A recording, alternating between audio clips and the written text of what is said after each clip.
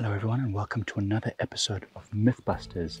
And the myth that we're busting is the myth of elephant graveyards. It's a popular belief that elephants all go to the same places to die, and that's why they often find the bones in similar areas. But it's not quite as we think. Elephant graveyards are no such thing. However, when elephants get older, their teeth start to fall apart and break down and wear down and they're no longer able to feed on the rough material that they would normally find in the drier areas. So they migrate to places like this, where there's plenty of soft green grass and marshy areas, so that their teeth, which are quite worn down, are still able to get them that nutrients that they need to survive. And hence why we find oftentimes elephants passing away in very similar marshy areas.